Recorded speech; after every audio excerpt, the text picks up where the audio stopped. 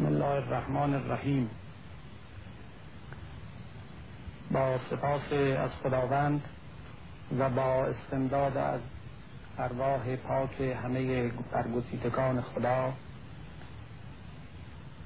برنامه خودمون رو درباره تحلیل و تشریح اندیشه های والای حضرت خداوندگار مولانا جلال الدین محمد ابن محمد ابن حسین بلخی رومی آغاز می‌کنیم این گزارشی است از اندیشه های بلند یکی از شاگردان ارجمند مکتب وحی و نبوت و قرآن و تفاخری است به بنا و ارجمندی معرفت مردم این مرزبوم که عرضه جهانیان کرده اند و گزارشی است از آن همه انوار هدایت که از وجود تابناک او و از حجره آفتاب منش زمیر اطراگین او بر جان ما تابیده است از تو بر من تافت. چون داری نهان میفشانی نور چون مه بی زبان و جستجوی درمانی است برای دردها که این روزها به اون درمانها سخت نیازمندی و زدن آب لطفی است. بر قهر و خشونتی که بشریت بدان مبتلاست و امید می‌بریم که حضرت حق همانطور که جان پاکان را به نور هدایت خود روشن و اطراگین داشت این گفتگوها را نیز مایه آن کند که از آن انوار هدایت پرتوی بر جان مشتاقان و جستجوگران بتابد. مولوی به حق از شاگردان راستین مکتب قرآن بود و اون مایه های اسلامی عرفان و یا مایه های عرفانی اسلام که به گفتار او شهد و حلاوت و حرارت بخشیده است هنوز نیز از وراء هفت قرن حجاب سرد در جان جستجوگران آتش می‌زند و در کام آنها شیرینی میپراکند. ما که امروز به اون گفتارها می‌پردازیم خواهیم دید که سخت به اون اندیشه های والا و اون نکات بدی که در سخنان او هست نیازمندیم و در واقع مفاخرت می‌کنیم که چنین شاگردی از مکتبی برخواسته است که ما نیز از پیروان همان مکتبی. و میکوشیم تا به شرح نشان دهیم که چگونه آشنایی زمیر همراه با تقوا با اندیشه های والای اسلامی شخص را توانا می کند تا چنین بوستان معطری از معرفت کند که جاودانه مشام جستجوگران حقیقت را معطر بدارد. مولوی از آن دسته از عارفان بود که یک پارچه شوریدگی و حال و دیوانگی بود. و اگرچه می گفت که در غم ما روزها بیگاه شد روزها با سوزها همراه شد اما چنان که خواهیم دید در جان او و در کام او نه غم بود و نه سوز. و باری اگر غمی و سوزی بود اما سوزی نبود که با شور و حال و جذبه و شوریدگی منافات داشته باشد. اگر بخواهیم در همون قالب که عارفان به کار می‌گیرند برای او هم نامی و اصطلاحی بیاندیشیم و به کار گیریم او از آن عارفان بود که در بست بود نه در قبل و از آن دست عارفان بود که اهل خراباتند نه اهل مناجات. و گرچه سراپای هستی او عشق و بیقراری نسبت به حضرت حق بود و به راستی یک اقیانوس از آتش بود بحر مسجوری بود اما فی الواقع هرگز هیچ غمی خاطر او را نگزید و هرگز بر گذشته خود پشیمانی نخورد و به راستی بهشت او در همین دنیا بود و اهل طرب بود و اهل طلب بود و خود توصیه می کرد که اگر تو یار نداری چرا طلب نکنی؟ و اگر به یار رسیدی چرا طرب نکنی؟ به کاهلی بنشینی که این عجب کاری است. عجب توی که هوای چنان عجب نکنی. مدتی در طلب بود و پس از اون که به مطلوب رسید طرف را آغاز کرد و برنامه او برای زندگی همگان همین بود که یا باید در طلب کوشید و یا در طرب و به حق عمر او در این هر دو مسیر گذشت. مولوی به طور مطلق پرکارترین شاعر ایرانی است و ما هیچ کس را از دیگر شاعران مگر برخی از آنها که نامی از آنها هم در میان نیست و متعلق به اصل صفویه بودند نمی‌شناسیم که این حجم عظیم از اشعار و آثار از او باقی مانده باشد. و به راستی مولوی اگر در آن تنگنای قافیه و شعر نبود حق این بود که آثار و برکاتی بسیار بیشتر از این به یادگار بگذارد. آنچه که او می گفت از سر هوشیاری نبود بلکه از سر جاذبه ای بود که محبوب او را می کشید و روحی بود که او در او می و او بی اختیار سخن می گفت اون همه شکایت ها که از تنگنای قافیه می کرد و اون همه شکایت ها که از تنگنای زبان و تنگنای هستی می کرد همه نشان می دهد که این عقاب بلند پرواز چه بالهای نیرومندی داشت و چگونه این بندهای زبان و قوافی دست و پای او را میبست و بال او را در بند می داشت و او را از پرواز آنچنان که خود او می‌خواست باز می داشت باری با همه این تنگناها و محدودیتها ما هنوز وارث آثار بسیار بلند و عظیم و حجیمی از او هستیم که من میکوشم ابتدا به مجموعه آثار اون بزرگوار اشاره کنم و اونگاه به سر سخن خود رویم که مطلوب اصلی ما توضیح و تحلیل افکار او خصوصا در مصنوی معنوی است و در این رهگذر البته از اشعار دیگر او خصوصا در دیوان کبیر شمس بهره خواهیم جست و اگر ضرورت اقتضا کند به دیگر گفته ها و نوشته های او نیز اشارت خواهیم کرد.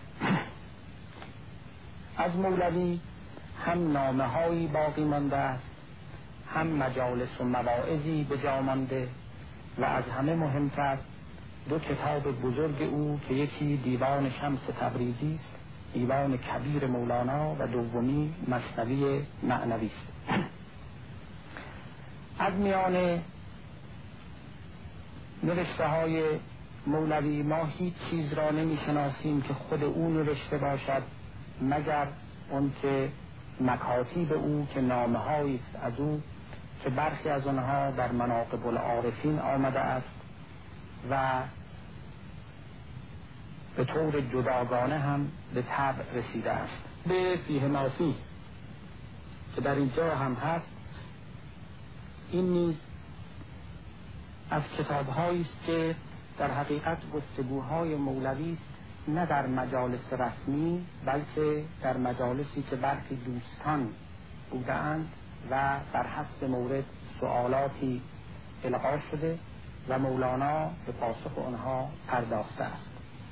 نامی که در این کتاب نهاده شده به نام فیه مافی که نام بسیار ساده است و حکایت از همون روش بدیع مولانا می کند که در نامگذاری کتاب و در آغازهای کتابهای خود چنان که خواهیم دید از روش معمول پیروی نمی کند. در اینجا هم آشکار است. فیه مافی یعنی حاوی همان است که در اوست. نام خاصی نیست و از اینجا آغاز می شود قال النبی علیه السلام شر العلماء من زار العمراء و خیر العمراء من زار العلماء نعم الامیر علی باب الفقیر و بئس الفقیر علی باب الامیر. و بعد بر همون شیوه که همه جا روش مولاناست این حدیث تعویل معنوی شده است و مولانا گفته است که مردم صورت این سخن را گرفتهاند و به باطن آن نرفتهاند. می‌دانیم این سبک مولاناست که در بسیاری از موارد امثال این روایات رو علاوه بر بهرهجویی ظاهری که از آنها می کند و معانی ظاهری آنها رو در نظر می گیرد آشکار می کند که بطنها و پرده هم هست و باید به ورای این معانی نیز نفوذ کرد. به خاطر داریم که مولانا در مورد اون روایت که از پیامبر رسیده است که تن نپوشانید از باد بهار عین همین تفسیر رو داره و در بسیاری از موارد گفت پیغمبر و اصحاب کبار تن نپوشانید از باد بهار. کان که با برگ درختان می کند با تن و جان شما آن می کند راویان این را به صورت برده اند بر همان ظاهر قناعت کرده اند و بعد مولانا میگه که اون بهاری که پیامبر باطنن و معنن به او اشاره داره عبارت است از نفسهای اولیا که جان خودتون را از آنها مپوشانید که آنها مایه خرمی بوستان زمیر شما خواهند بود. و خزان عبارت است از نفسهای ناپاکان که ریشه هر گونه پاکی رو در دل شما و در نهاد شما خواهد سوزاند. در اینجا هم می‌بینید که این همین ثبت هست و این ثبت در سراسر نوشته ها و گفتارهای مولانا پراکنده است. فیه مافی کتابی است که برای سخنشناسان و معناشناسان که در بهار اندیشه های مولانا غواصی می کنند کلید خوبی است برای دریافت معنای واقعی اشارت های او در مصنوی و در شمس. چون در آنجاها تنگنای کلام و تنگنای قافی او رو سخت در بند می داشته اما در فیه مافی بعضا به راحتی و آسانی و فراخی بیشتر به بست نظریات و افکار خود پرداخته و گرچه کتاب کوچک و محدودی است با این همه ارزش اون دارد که خوانده شود.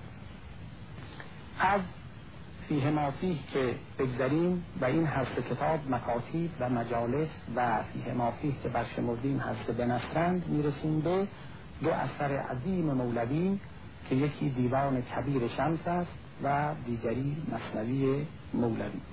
دیوان کبیر رو مقدم بداریم. این که به نام کلیات شمس نامیده شده و خوشبختانه با چاپ انتقادی نسبتا خوبی هم به طرف رسیده. به این خاطر دیوان شمس نامیده شده که مولانا کثیرا در ابیات خود در این کتاب از شمس تبریزی یاد می‌کنه. و به طوری که داستانها به ما می‌گویند در واقع مولانا پیش از دیدار شمس و پیش از اطلاع به فراق او بیتی نگفته بود و غزلی نسروده بود و تمام این کارهای عظیم او در عالم شعر که بالغ بر هفتاد هزار بیت می شود همه در اون قسمت پایانی عمر او و پس از اطلاع به فراغ شمس است که از نهانخانه زمیر تابناک حضرت خداوندگار مولانا پا به عرصه وجود نهاده است. اگر آن روایت را قبول کنیم که نقل کرده اند اولین غزلی که مولانا سروده است این بوده. آه از آن رخسار برقنداز خوش محپار ای سائق است از برق او بر جان هر بیچاره ای. تا در انتهای این غزل شمس تبریزی تناقض چیست در احوال دل؟ گه مقیم عشق باشد گه ز عشق آواره ای.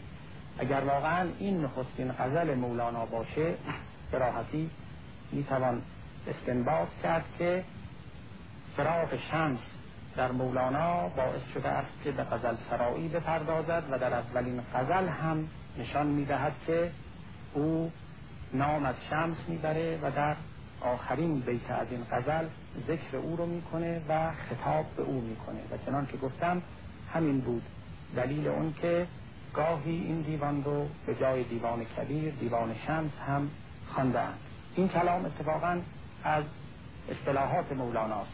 بحث از تناقضهای دل جزو یکی از واجه های خاصی است که مولوی در مصنوی شریف هم به کار می‌بره. از تناقضهای دل پشتم شکست بر سرم جانا بیا بگذار دست. دست خود را از سر من بر مدار بی قرارم بی قرارم بی قرار. و در همین جا هم می‌بینیم که شمس تبریزی تناقض چیست؟ در احوال دل گه مقیم عشق باشد گه ز عشق آواره آخرین غزلی که نقل کرده اند که در شب وفات مولانا مولانا سروده است همان غزل مشهوری است که بسیاری از ما هم به خاطر داریم که رو سر بنه به بالین تنها مرا رها کن ترک من قریب شبگرد مبتلا کن. ما ایم و موج سودا شب تا به روز تنها خواهی بیا ببخشا خواهی برو رها کن. این آخرین غزلی است که نقل کرده اند مولانا سروده و پس از او به فاصله اندکی راهی دیار غیب شده است. مجموع اشعاری که در دیوان شمس هست تقریبا سی و شش هزار بیت است.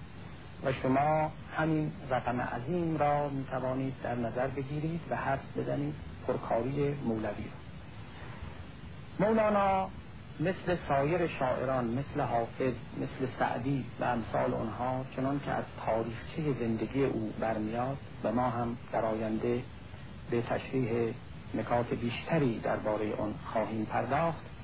چنان نبود که بنشیند و غزلها رو بر روی کاغذ بنویسد و دیوانی گردآوری کند. اون هم به این حجم عظیم.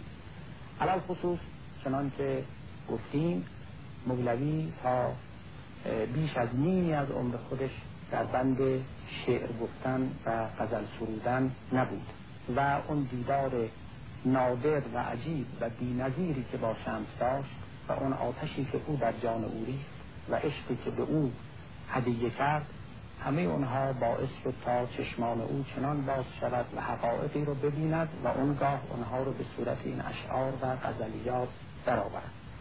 این ربایی از مولانا منقول است و جز رباعیات اوست که میخاره بزم و بادجویم کردی. زاهد بودم ترانگویم کردی سجاد نشین با وقاری بودم. بازیچه کودکان کویم کردی این زاهد که تا بیش از نیمی از عمر خود. به صورت یک مدرس و فقیه حنفی بود و شاگردان داشت و در مدرسه می نشست و موعظه می کرد و درس فقه می گفت. پس از اون برخورد استثنایی باشم به صورت یک ترانگو در آمد و اون ترانگو همان بود که این همه برکات از او به جا میخاره بزم و باد خویم کردی زاهد بودم ترانگویم کردی.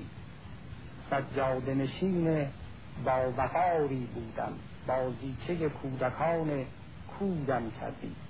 این سجاد نشین با و این زاهدی که حالا تبدیل به یک ترانگو شده بود این مجموعه عظیم از ازلیات رو به وجود آورد. در دیوان شمس اشعار خست و سمین فراوان است. ابیات سست دیده می شود و در این حال ابیاتی که نمونه والای شعرهای حماسی است یا شعرهای غنایی است هم در این کتاب دیده می شود و به حقیقت ما هیچ دیوانی رو نمی شناسیم که این همه مالامال از شور و عشق و تموج باشه و هر جای این کتاب رو که باز می‌کنی می‌بینی یک روح آزاد رو که از تنگی قافیه میناله و در این حال اونقدر حجوم معانی در ذهن اوست که براستی واقعا و از سر انصاف اظهار می کند که کلمات برای من کمند و این جامها برای اون باده که در جان من است سخت تنگی و بیمجالی می کند از این روست که گاهی در اشعار مولوی هم در مصنوی و هم در دیوان کبیر دیده می شود گله های فراوانی که این رو من در ضمن توضیحی که درباره مصنوی خواهم گفت شرح بیشتری خواهم داد. از غزلیات مشهوری که مولانا در دیوان کبیر داره و همین گله خودش رو بیان می‌کنه باز همین اشعار مشهور اوست که رستم از این بیت و قزل ای شه و سلطان ازل مفتعلون مفتعلون مفتعلون کشت مرا. قافیه و مسئله را گو همه سیلاب ببر. پوست بود پوست بود در خور مغز شعرا. این مفتعلون مفتعلون که دست او رو بسته بود یعنی همین اوزان عروضی و همین بهور اینا همون چیزهایی که اجازه نمی‌داد که او سخنش رو به تمامی بگه. در این حال اون روح هنرمند مولانا و اون موزونیتی که در ذهن او بود اجازه نمی‌داد که همه چیز رو به نصر بگه. از این رو او بین دو امر متناقض گیر کرده بود. همون تناقضی که گاهی هم از او نام می‌بره و ما هم دربارهش سخن گفتیم که هم می‌خواست با موضوعیت و هنرمندی سخن را ادا کنه به طوری که در حافظه مخاطب بنشینه و حتی او نمی‌خواست. به قول خودش می‌گفت اون کشنده می‌کشد. من چون کنم؟ لب ببندم هر دمی زینسان سخن توبه آرم هر زمان. صد بار من این سخن را بعد از این مدفون کنم. اون کشنده می‌کشد. من چون کنم؟ این کشنده ای که او رو می‌کشید و اون موضوعیتی که به او میبخشید و اون عشق موزون کننده که در او بود باعث می‌شد تا سخنانش چنین هنرمندانه و گرم و پرحرارت از او صادر بشه.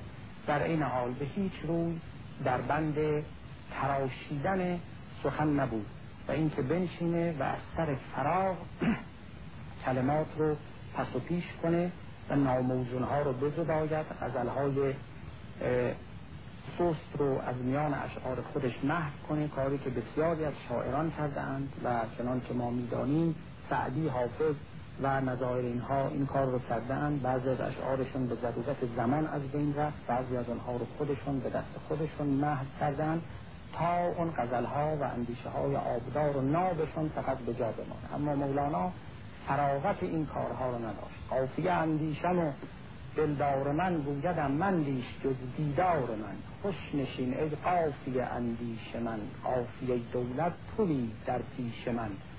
لفظ و حرف و صوت را بر هم زنم تا که بی این هر سه با تو دم زنم. ما جنون واحد لی فی الشجون بل جنون فی جنون فی جنون. کیف یأت النظم لی والقافیه بعدما ضاعت اصول العافیه ذره ای از عقل هوش با من است. این چه سودا و پریشان گفتن است. مولوی در این احوال بود که می گفت وقتی که اصول عافیت از بین رفته است و اون هوشیاری که شاعران دارند و در اون حالت اون تسلط رو بر زبان دارند وقتی او از دست من رفت وقتی که من با بی خودی و بی اختیاری در محبوب خودم می نگرم چگونه می‌تونم حفظ صورت بکنم حفظ نظم و قافیه بکنم. و به حقیقت اون که خودش می‌گفت حفظ صورت با چنان معنای ژرف نیست ممکن جز ز سلطان شگرف در چنین مستی مراعات ادب خود نباشد و بود باشد عجب. به حقیقت او همان سلطان شگرف بود که در کمال مستی در عین حال مراعات ادب می‌کرد. و در میان ابیاتی از شمس و از مصنوی شما به اون نابترین شعرهای سبک خراسانی برخورد می‌کنید که نشان می‌دهد که اون بزرگوار اگر می‌خواست می‌تواند از نظر سرودن اشعار و در کمال بلاغت و فصاحت با بلیغترین شاعران پهلو بزنه. کما اینکه نمونه هایی از این گونه در اشعار او هست. می‌گفتم که مولوی غزلیات خودش به چنان نمی سرود که بنشینه خانه و درد روی دیگران ببنده و بنویسه و بعد به صورت دیوانی به آنها عرضه کنه. بلکه بر حسب موقعیت هایی که پیش می آمد و انگیزه هایی که از بیرون در جان او میریخت و اون جان او که همیشه در آستانه تحریک بود و هر اندک چیزی می توانست او رو به انگیختگی بیاره یک مرتبه سیلی از اشعار آبدار از زبان او جاری می و معمولا هم به حالت سماع بود و دوستان که در اطراف او بودند این اشعار رو برمی نوشتند و در مواردی هم به مولوی عرضه می کردند تا تصحیح بشه. چنان که ما می‌دانیم مصنوی رو مولانا با حسام الدین در میان گذاشت در جمعی که دوستان بسیار بودند و حسام الدین شاگرد مخصوص و محبوب او اونها رو می نوشت و بعدا چنان که گفتند تا هفت بار بر مولانا اونها رو برخواند و تصحیح کرد. در مورد غزلیات شمس هم باز چنان که تواریخ نشان می‌دهند و سبک به همین شیوه بوده است. یعنی مولانا که بر حسب موارد مختلف و انگیزه های متنوع اون قتل ها رو می سرود و اطرافیان می نوشتند گاه هم به مولانا نشان می دادند. در واقع اون حالت وحیاسا که بر روح مولانا حاکم بود اجازه نمی‌داد که در آن حالت مستی به قول خودش مراعات ادب کند او فقط در آن موقع کسی بود که می گرفت و به دیگران می سپرد و در این میان پروای هیچ چیز نداشت. و این دیگران بودند که از سر هوشیاری اونها رو قید رتابت می آوردند و ما رو امروزه وارث چنان برکات عظیم کردند از کتاب اشعار مولانا یکی رکن الدین سیواسی رو نقل کردند که حتی بعضی اشارات تاریخی هست که او گاه در اشعار مولانا تصرف هم می‌کرد. و این سیواسی کسی بود که بعدا حتی کارش به جنون هم کشید. و یکی از غزلیات شمس اشاره به همین سیواسی و وضع او داره. ای لولیان ای لولیان یک لوله ای دیوانه شد. تشتش فتاد از بام ما نک سوی مجنون خانه شد. و کسان دیگری هم احتمالا بودن اما در نوشتن مصنوی ظاهرا خود حسام الدین نقش اصلی و عمده را بر عهده داشته است. تا اینجا از دیوان شمس و کیفیت سروده شدن او سخن گفتیم. حالا نوبت به خود کتاب شریف مصنوی مولوی می‌رسه که آشناترین و معنوسترین کتاب های مولاناست و حاوی عمیقترین و اسرارآمیزترین اندیشه های اوست. و در حقیقت مولوی در مصنوی تا حدود زیادی سعی کرده است که مستی رو با ادب در کنار هم نگه داره. گرچه گاه گاه همطور که برخواندم اشعاری از او سر می‌زنه و سروده می شود که نشان می دهد که در آنجا هم گاهی در تنگنا بوده و گاهی ابراز می کند که من دیگه در این حالت نمی‌تونم وضع خودم رو کاملا در اختیار خودم نگه دارم و مجبورم که داستان رو ترک کنم به سخن رو بگسلم و دوباره به بیان همان مستی های خودم بپردازم. مست گشتم. خیش بر قوقا زنم. چه چه باشد؟ خیمه بر صحرا زنم. بر کفم نه اون شراب آتشین و جهان کر مستانه بین. این رو در میان داستانی که بعدا هم انشاءالله ذکر اون رو خواهیم کرد. مولانا نقل می‌کنه. بیان می‌کند که کسی به دنبال گنجی بود و اون گنج رو تا مدتی نیافت و در همین احوال ناگهان مسائلی پیش میاد که مولانا رو از حال خودش بیحال می‌کنه و بیقرار می‌کنه. ابتدا خطابهایی با حسام الدین می‌کنه و دشواری هایی که برای حسام الدین پیش آورده ام قصد کردستند این دلپاره ها که بپوشانم خورشید تو را در دل که لعل ها دلال توست. ها از خند مالا مال توست. این خطاب ها رو با حسام الدین می‌کنه. چون بخواهم که از غمت آهی کنم چون علی سر را فراچاهی کنم بعد بعد از این است که اون بیقراری دوباره به سراغ مولانا میاد. مست گشتم خیش بر قوقا زنم چه چه باشد خیمه بر صحرا زنم. بر کفم نه اون شراب آتشین و کر و فر مستانه بین و بعد اشاره می‌کنیم که با اون فقیر در طلب فعلا بیسته و ما رو رها کنه و بذاره که من سخن خودم رو بگم که الان پروای گفتن اون سخنان رو ندارم. مصنوی مولوی که چنان که گفتم حاوی عمیقترین اندیشه های مولاناست در 15 سال انتهای عمر پربرکت مولانا سروده شد. پس از اون دیدار که مولوی با شمس داشت و پس از مزاحمت ها که برای شمس فراهم آوردن و شمس از بونیجه گریخت و یک نوبت مولانا پسرش رو به دنبال او فرستاد و شمس دوباره به خونه برگشت و باز برای دوم پس از دشواری ها که برای او پیش آوردند برای همیشه از بومیده گریخت و مولانا را تا انتهای عمر در آتش فراق خود باقی نگه داشت. مولوی سعی کرد که سوز درون خودش رو از طریق همت گماشتن به تربیت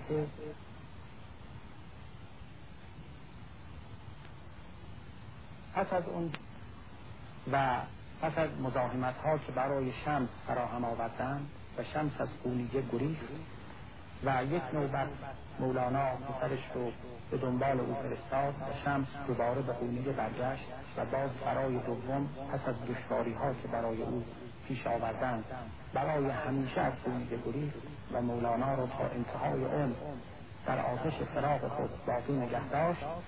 مولوی سعی کرد که سوز درون خودش رو از طریق همت گماشتن به تربیت یک دسته از شاگردان ناب و عارف بگذارد و به این ترتیب بود که ابتلا ابتدا با صلاح الدین خوب خونبی پرداخت به تربیت او همت گماشت و پس از وفات صلاح الدین در سال 657 چنان که تذکر نویسان نوشتند به حسام الدین و به تربیت او همت گماشت. و همچنان که در دفاتر مصنوی از ابتدا تا انتها مولوی ذکر کرده خطاب مولانا با حسام الدین است. مصنوی را چون تو مقبع بوده این گر فزون گردد تو اش افزوده چون چنین خواهی خدا خواهد. چنین می‌دهد حق آرزوی متقین. کان لله بوده ای. در ما مزا تا که کان الله له آمد جزا. حسام الدین از مولانا طلب کرد گفت چون در مجالس اشعار سنایی و اشعار عطار رو می‌خوانند خوب است که حضرت مولانا هم چیزی به وجود بیاورند که مایه تحضیب نفس عارفان و شاگردان و مشتاقان طریق معرفت و معنا باشه و در مجالس بخواند اونچنان که در داستانها گفتند مولوی هجده بیت از ابتدای بستر اول مصنوی رو سروده بود و همانجا به حسام الدین نمود و گفت خود من هم در همین اندیشه بودم و به چنین نتیجه رسیدم و این نخستین بخشی از کتاب مصنوی که سرودم از بشنوین نی چون شکایت می کند از فدایی ها حکایت می کند که از نیستان تا مرا ببریده اند از نفیرم مرد زن نالیده سینه خواهم شرح شرح از فراق تا بگویم شرح درد اشتیاق. من به هر جمعیتی نالان شدم جفت خوشحالان و بدحالان شدم. هر کسی از زن خود شد یار من و از درون من نجست از دار من سر من از ناله من. دور نیست لیک عقل و هوش را نور نیست.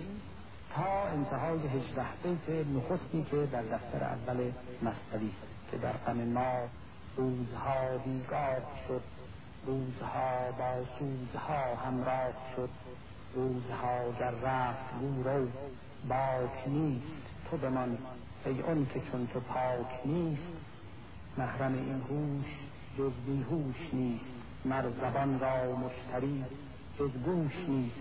در نیابد حال پخته هیچ خام پس سخن کوتاه باید و سلام. تا اینجا که هجده بیت نخستین دفتر نخست مصنوی است مولانا سروده بود.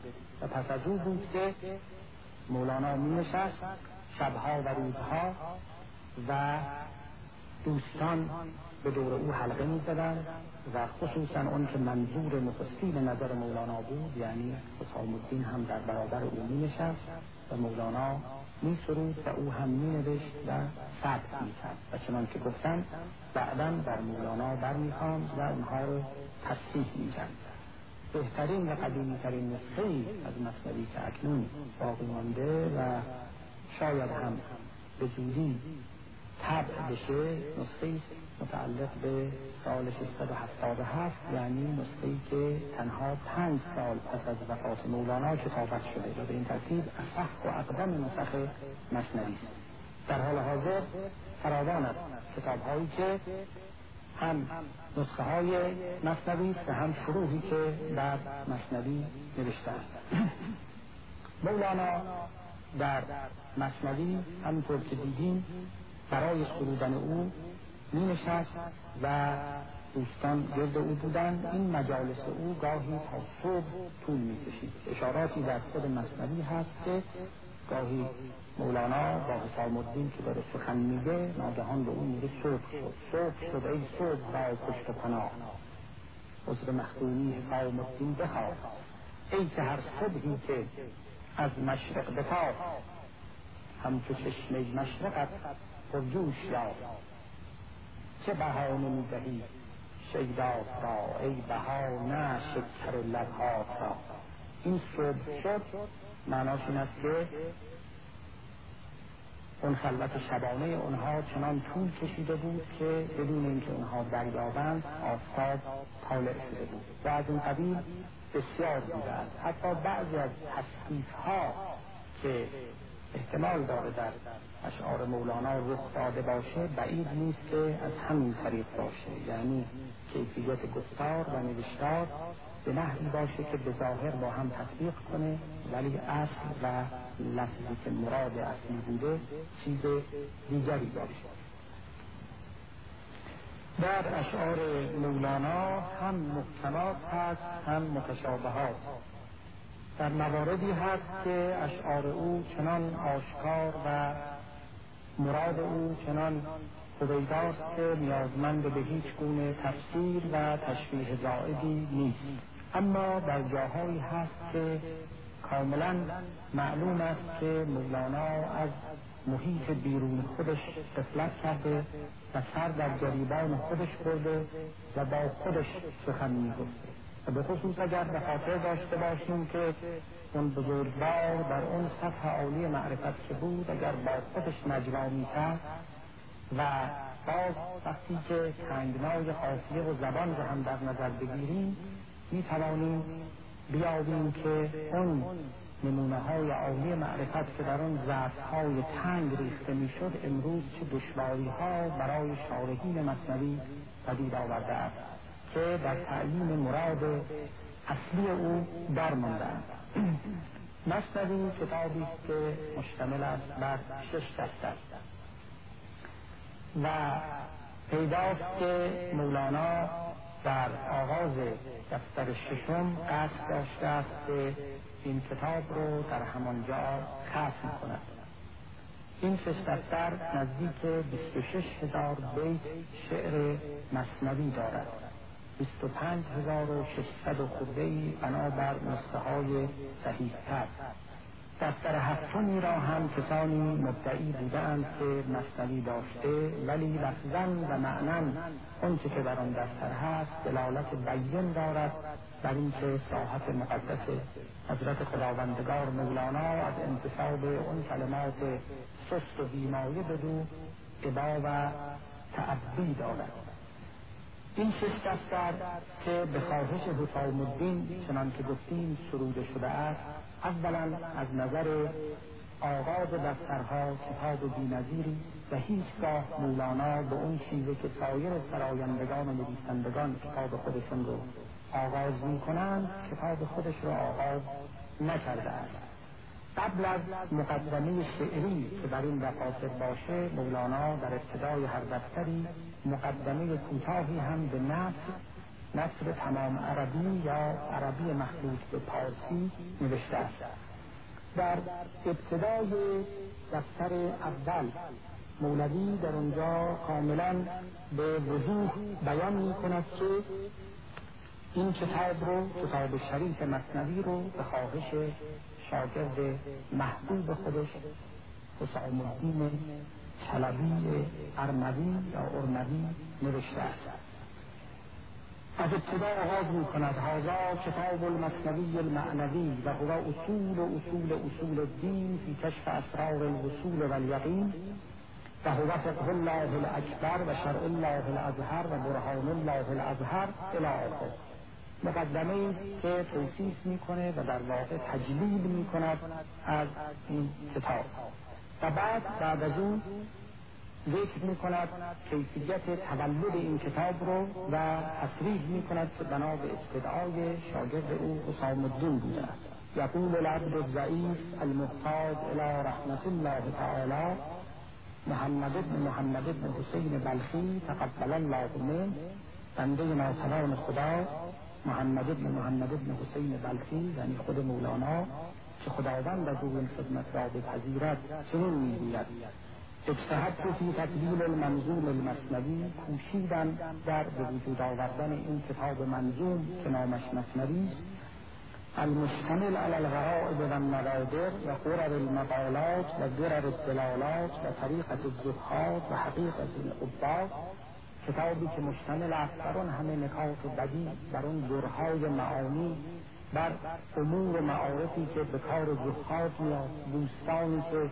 آبدان در اون می‌روند اسیرت المبانی کثیرت المعانی یک چنین کتابی که در عین ایجاز دارای چنان معانی بلند است لاستدعاء سیدی و سندی و معتمدی و مکان روح من جسدی و ذخیرت یومی و غدی به خواهش کسی که سید من بود سند من بود معتمد من بود ذخیره امروز و فردای من بود مثل روح در کالبد من بود به خواهش چنان کسی که خدا الشیخ قدوة العارفین امام الهدى والیقین مغیث الورا امین القلوب و النهى ودیعت الله بین خلیقته و صفوته فی بریجته اوصاف بسیار زیادی ابو الفضائل حسام الحقین حسن ابن محمد حسن معروف به ابن اخی ترک ابو جزید وقت جنید زمان الى آخر.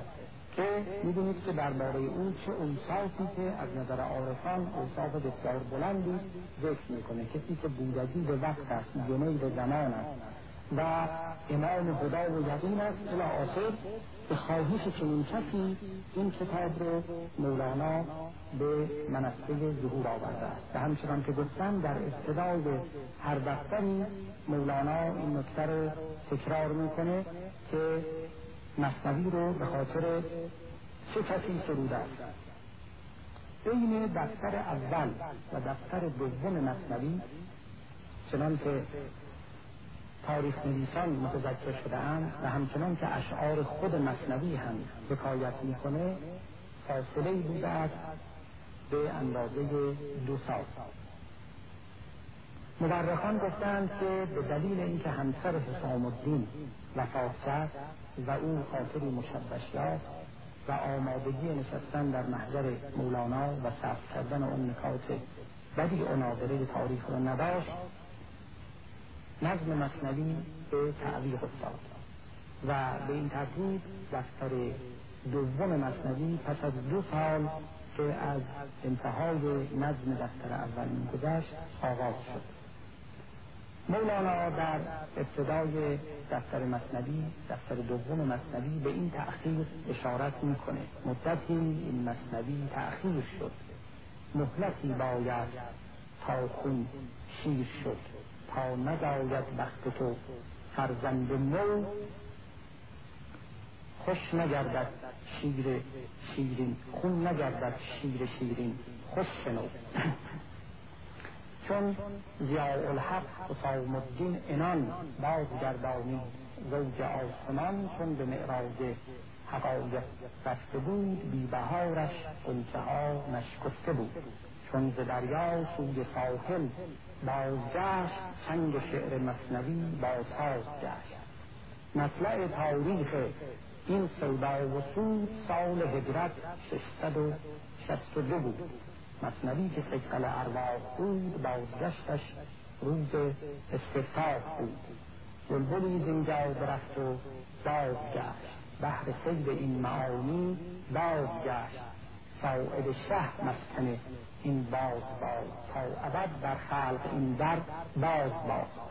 می‌دونید که ما یک اشارت تاریخی سریح در اینجا از مولوی میابیم و او اینکه دفتر دوم مصنوی از سال 662 آغاز شده است و سال وفات مولانا که سال 672 بوده نشان می‌دهد که این پنج دفتر آخر در ظرف ده سال سروده شده است.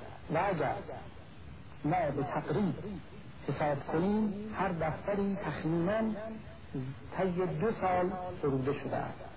و اگر چنین باشه دفتر نخست رو هم سروده شدنش رو در ظرف زمانی دو سال در نظر بگیریم و اون دو سال تأخیر و وقته بین دفتر اول و دفتر دوم رو هم بپذیریم. مجموعا شش دفتر مصنوی ظرف چهارده پونزده سال سروده شده است. و این تقریبا با اون که تاریخ نویسان نوشتن تطبیق می‌کنه که گفتن سال وفات صلاح الدین زرکوب خونوی نخستین شاگرد و منظور نظر مولانا 657 بود و از اون سال بود که از اون به بعد بود که مولوی به تربیت حسام الدین همت گماشت و از 657 تا 672 قریب 15 سال مولانا به نظم غزلیات و به نظم مصنوی پرداخت. و این درست در میاد و با اون اشارات تاریخی هم وفق میده. نکته کوچکی که من در اینجا خوب اشاره کنم و بعدها انشاءالله به تفصیل درباره او سخن خواهیم گفت این است که بسیار بعید به نظر می‌رسد. هم از مولانا مردی و هم از حسام الدین شاگردی. که صرفا به خاطر وفات همسر حسام الدین چنین منظومه بدیع عرفانی و تاریخی مدت دو سال وقفه پذیرفته باشه خود ممکن این حادثه بوده باشه که مقارن با وقفه نظم مصنوی اون هم به دلیل دیگری رخ داده باشه. اما نه اینکه این تنها دلیل وقفه نظم مصنوی باشه. اون اشتیاقی که ما از حسام الدین می‌دونیم و اون همه همراهی که او با مولانا داشته است بعید به نظر می‌رسد که حادثه اونچنان او رو از میوهچینی از اون بستان معرفت اینطور باز داشته باشه. مولانا در انتهای دفتر مصنوی اشاراتی دارد که نشان می‌دهد که حال روحی او آمادگی برای نظم مصنوی نداشته است و به خواننده و شنونده اشارت می کند که برای مدتی این کار رو تعطیل خواهد کرد. ای دریقا لغمه دو خورده شد. جوشش فکرت از آن افسرده شد. این حکایت از آن می کند که یک تمتع دنیوی چه از طرف خود مولوی و چه از طرف دیگران که کشنده مولانا بودند در نظم مصنوی باعث شده بود که اون رابطه معنوی به هم بخوره و یا اون جوشش فکر که از سر محذب بودن زمیر بود برای مدتی افسرده بشه و متوقف بمانه ای دریقا لقمه دو خورده شد. جوشش فکرت از آن افسرده شد. این لطف دل که از یک مشتگل ماه او چون می شود پروین گسل. و میگه این علامت لطافت دل است. که یک چیز به این کوچکی می‌تواند او رو کدر کنه و تیره کنه. سخت خاکآلود می آید سخن. آب تیره شد. سر چه بند کن. تا خدایش باز صاف خوش کند اون که تیره کرد هم صافش کند. صبر آرد آرزو را. می شتاب. صبر کن. والله اعلم بالصواب. این اشارت است و این آخرین ابیات دفتر اول مصنوی و نشان می‌دهد که حادثه روحی معدی افتاده بوده است. به هر طریقی و جوشش فکرت مولانا را افسرده کرده و اون چاه زمیر او رو که اون آب معرفت از اون می جوشیده کدر کرده و مولانا توصیه می کند که مدتی باید شکیبا بود صبر کرد تا دوباره خدا که این آب رو تیره کرده خودش او رو صافی کند و تذکار می دهد که شفاعت کردن سود نداره و اون که آرزو رو برمی آورد شکیبا بودن است. صبر آرد آرزو را. می شتاب صبر کن. والله اعلم. به سلام تا نوبت آینده هم ما صبر می‌کنیم و انشالله دنبال کلام رو در قسمت بعد می‌گیریم. السلام علیکم و رحمت الله فعلا بیسته و ما رو رها کنه و بذاره که من سخن خودم رو بگم که الان پروای گفتن اون سخنان رو ندارم. مصنوی مولوی که چنانچه گفتم حاوی عمیقترین اندیشه های مولاناست در پونزده سال انتهای عمر پربرکت مولانا سروده شد. پس از اون دیدار که مولوی با شمس داشت و پس از مزاحمت ها که برای شمس فراهم آوردند و شمس از خونیه گریخت و یک نوبت مولانا پسرش رو به دنبال او فرستاد و شمس دوباره به خونیه برگشت و باز برای دوم پس از دشواری ها که برای او پیش آوردند برای همیشه از خونیه گریخت و مولانا را تا انتهای عمر در آتش فراغ خود باقی نگه داشت مولوی سعی کرد که سوز درون خودش رو از طریق همت گماشتن به تربیت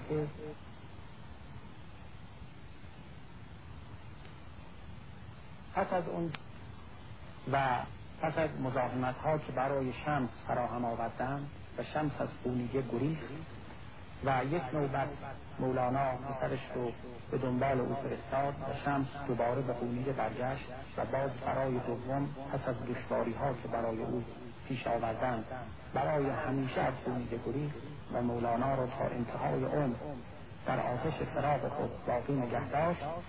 مولوی سعی کرد که سوز درون خودش رو از طریق همت گماشتن به تربیت یک دسته از شاگردان ناب و عارف بگماند.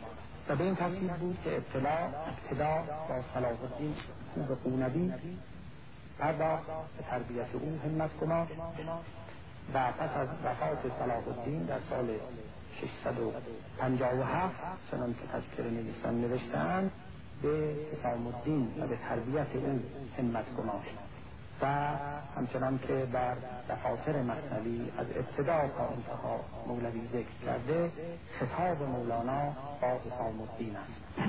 مصنوی را چون تو مبدع بوده ای گر فزون گردد تو اش افزوده ای. چون چنین خواهی خدا خواهد چنین می‌دهد حق آرزوی متقین کان لله بوده ای. در ما مزا تا که کان الله له آمد جزا.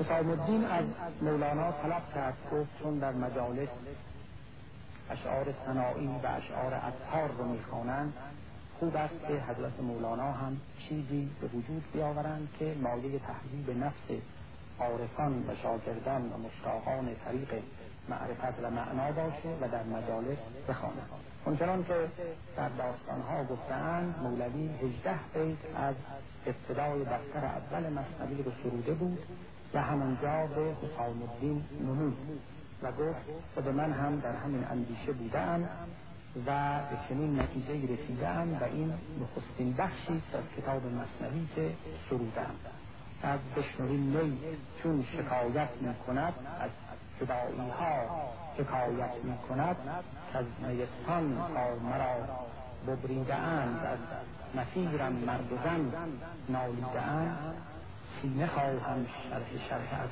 فرار تا بگویم شرح درد اشتیاق. من به هر جمعیتی نالان شدم جفت خوشحالان و بدحالان شدم. هر کسی از زن خود شد یاد من و از درون من نجست دستار من سر من از ناله من. دور نیست لیک عقل و هوش را نور نیست. تا انتهای هجده بیت نخستی که در دفتر اول مستوی که در غم ما روزها بیگاه شد. روزها با سوزها همراه شد. روزها گر رفت گورو باک نیست تو بمان. ای اون که چون تو پاک نیست محرم این هوش جز بیهوش نیست. مر زبان را مشتری جز گوش نیست. در نیابد حال پخته هیچ خام پس سخن کوتاه باید و سلام تا اینجا که هجده بیت نخستین دفتر نخست مصنوی است مولانا سروده بود.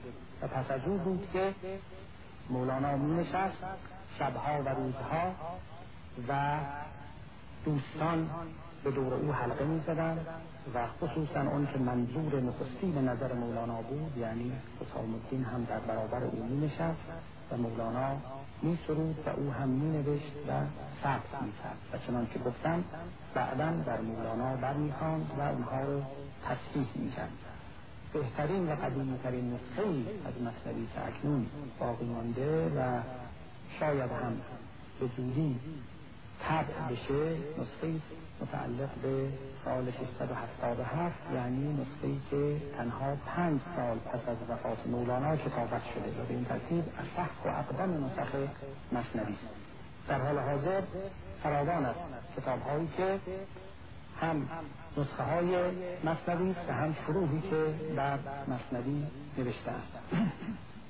مولانا در مصنوی همینطور که دیدیم برای سرودن او می نشست و دوستان گرد او بودند. این مجالس او گاهی تا صبح طول می کشید اشاراتی در خود مصنوی هست که گاهی مولانا با حسام الدین که داره سخن میگه ناگهان به اون میگه صبح شد صبح شد ای صبح با پشت و پناه. عذر مخدومی حسام الدین بخواه. ای که هر صبحی که از مشرق پا همچو چشمه مشرقت پرجوش یا. چه بهانه می‌دهی شیدات را ای بهانه شکر لبهات را. این صبح شد معناش این است که اون خلوت شبانه اونها چنان طول کشیده بود که بدون اینکه اونها دریابند آفتاب طالع شده بود. و از این قبیل بسیار بوده است. حتی بعضی از تصحیف ها که احتمال داره در اشعار مولانا رخ داده باشه بعید نیست که از همین طریق باشه. یعنی کیفیت گفتار و نوشتار به نحوی باشه که به ظاهر با هم تطبیق کنه ولی اصل و لفظی که مراد اصلی بوده چیز دیگری باشه در اشعار مولانا هم محکمات هست هم متشابهات. در مواردی هست که اشعار او چنان آشکار و مراد او چنان هویداست که نیازمند به هیچ گونه تفسیر و تشریح زائدی نیست. اما در جاهایی هست که کاملا معلوم است که مولانا از محیط بیرون خودش قفلت کرده و سر در گریبان خودش برده و با خودش سخن می‌گفته. و به خصوص اگر به خاطر داشته باشیم که اون بزرگوار در اون سطح عالی معرفت که بود اگر با خودش نجوا می‌کرد و باز وقتی که تنگنای قافیه و زبان رو هم در نظر بگیریم می توانیم بیابیم که اون نمونه های عالی معرفت که در اون ضعف های تنگ ریخته می‌شد امروز چه دشواری ها برای شارحین مصنوی پدید آورده است که در تعیین مراد اصلی او درماندهاند. مصنوی کتابی است که مشتمل است بر شش دفتر و پیداست که مولانا در آغاز دفتر ششم قصد داشته است که این کتاب رو در همانجا ختم کند. این شش دفتر نزدیک 26 هزار بیت شعر مصنوی دارد. 25600 و خورده ای بنابر نسخه های صحیح تر دفتر هفتمی را هم کسانی مدعی بودند که مصنوی داشته ولی لفظا و معنا اونچه که در آن دفتر هست دلالت بیان دارد بر اینکه ساحت مقدس حضرت خداوندگار مولانا از انتصاب اون کلمات سست و بیمایه به رو ابا و تعبی دارد. این شش دفتر که به خواهش حسام الدین چنان که گفتیم سروده شده است اولا از نظر آغاز دفترها کتاب بینظیری و هیچگاه مولانا به اون چیزی که سایر سرایندگان و نویسندگان کتاب خودشون رو آغاز می کنند کتاب خودش رو آغاز نکرده است. قبل از مقدمه شعری که بر این دفاتر باشه مولانا در ابتدای هر دفتری مقدمه کوتاهی هم به نصر نصر تمام عربی یا عربی مخلوط به پارسی نوشته است. در ابتدای دفتر اول مولوی در اونجا کاملا به وضوح بیان می کند که این کتاب رو کتاب شریف مصنوی رو به خواهش شاگرد محبوب خودش حسین الدین چلبی ارموی یا ارموی نوشته است. از ابتدا آغاز می کند هذا کتاب المصنوی المعنوی و هو اصول و اصول اصول الدین فی کشف اسرار الوصول و الیقین و هو فقه الله الاکبر و شرع الله الازهر و برهان الله الازهر الى آخر. مقدمه است که توصیف می‌کنه و در واقع تجلیل می‌کند از این کتاب. و بعد بعد از اون ذکر می کند کیفیت تولد این کتاب رو و تصریح می کند که بنا به استدعای شاگرد او حسام الدین بوده است. یقول العبد الضعیف المحتاج الى رحمت الله تعالی محمد ابن محمد ابن حسین بلخی تقبل الله منه بنده ناتوان خدا. محمد ابن محمد ابن حسین بلخی یعنی خود مولانا که خداوند از او این خدمت را بپذیرد چنین می‌گوید. اجتهدت فی تدویل المنظوم المصنوی کوشیدم در به وجود آوردن این کتاب منظوم که نامش مصنوی است. المشتمل على الغرائب و النوادر و قرر المقالات و درر الدلالات و طریقت الزهاد و حقیقت العباد. کتابی که مشتمل است بر اون همه نکات بدی بر اون درهای معانی بر امور معارفی که به کار زهاد میاد بوستانی که آبدان در این می‌روند کثیرت المبانی کثیرت المعانی یک چنین کتابی که در عین ایجاز دارای چنان معانی بلند است لاستدعاء سیدی و سندی و معتمدی و مکان روح من جسدی و ذخیرت یومی و غدی. به خواهش کسی که سید من بود سند من بود معتمد من بود ذخیره امروز و فردای من بود مثل روح در کالبد من بود به خواهش چنان کسی که هو الشیخ قدوة العارفین امام الهدى والیقین مقیس الورا امین القلوب و النهى ودیعة الله بین خلیقته. و صفوته فی بریجته اوصاف بسیار زیادی ابو الفضائل حسام الحقین حسن ابن محمد حسن معروف به ابن اخی فرج ابو جدید وقت جنید زمان الى آخر.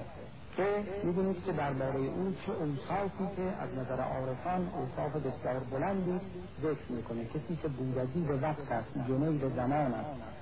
و امام خدا و یقین است آخر به خواهش چنین کسی این کتاب رو مولانا به منصه ظهور آورده است. و همچنان که گفتم در ابتدای هر دفتری مولانا این نکته رو تکرار می‌کنه که مصنوی رو به خاطر چه کسی سروده است؟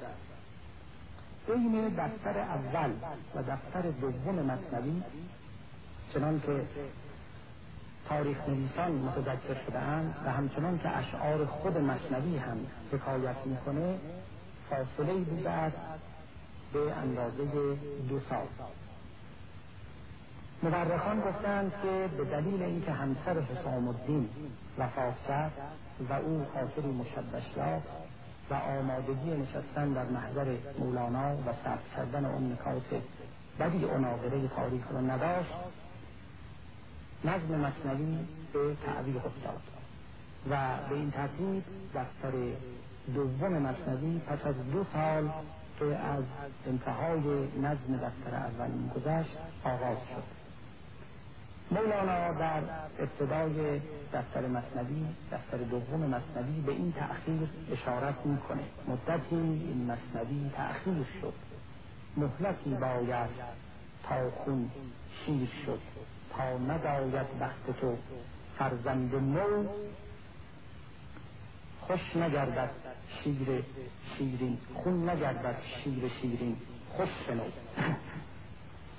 چون ضیاء الحق حسام الدین انان بازگردانی زوج آسمان چون به معراج حقایق بسته بود بی بهارش ها نشکفته بود. چون ز دریا سوی ساحل بازگشت چنگ شعر مصنوی با ساز گشت. مطلع تاریخ این سودا و سود سال هجرت ششصد و شست و دو بود. مصنوی که سکل ارواح بود بازگشتش روز استفتاح بود. بلبلی زینجا برفت و بازگشت. بحر سید این معانی بازگشت. ساعد شه مسکن این باز باز. تا ابد در خلق این در باز باز. می‌دونید که ما یک اشارت تاریخی سریح در اینجا از مولوی میابیم و او اینکه دفتر دوم مصنوی از سال 662 آغاز شده است و سال وفات مولانا که سال 672 بوده نشان می‌دهد که این پنج دفتر آخر در ظرف ده سال سروده شده است. و اگر ما به تقریب حساب کنیم هر دفتری تخمینا طی دو سال سروده شده است.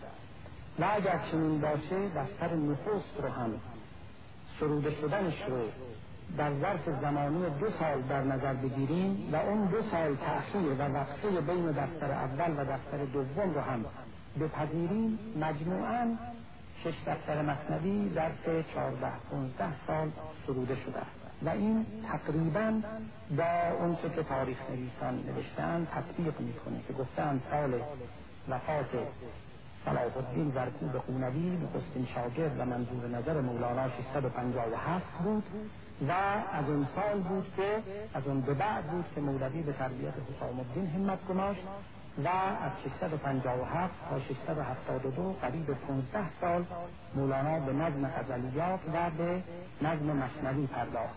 و این درست در میاد و با اون اشارات تاریخی هم وفق میده.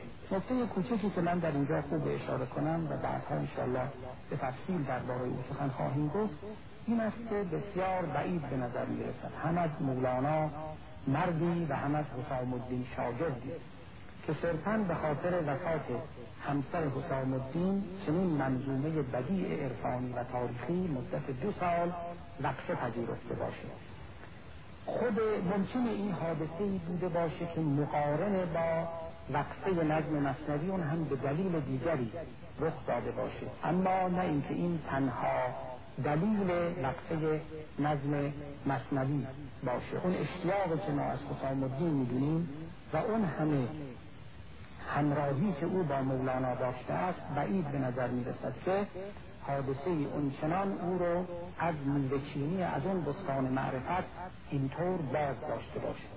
مولانا در انتهای دفتر مصنوی اشاراتی دارد که نشان می‌دهد که حال روحی او آمادگی برای نظم مصنوی نداشته است و به خواننده و شنونده اشارت می کند که برای مدتی این کار رو تعطیل خواهد کرد. ای دریقا لغمه دو خورده شد.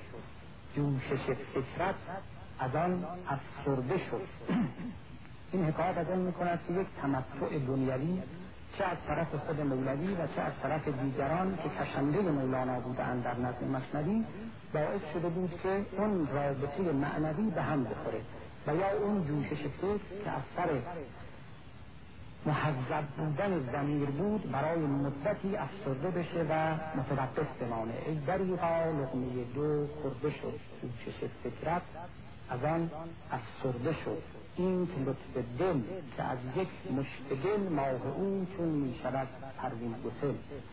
و میگه این علامت لطافت دل است. یک چیز به این کوچکی می‌تواند او رو کدر کنه و تیره کنه. سخت خاک آمیز می آید سخن.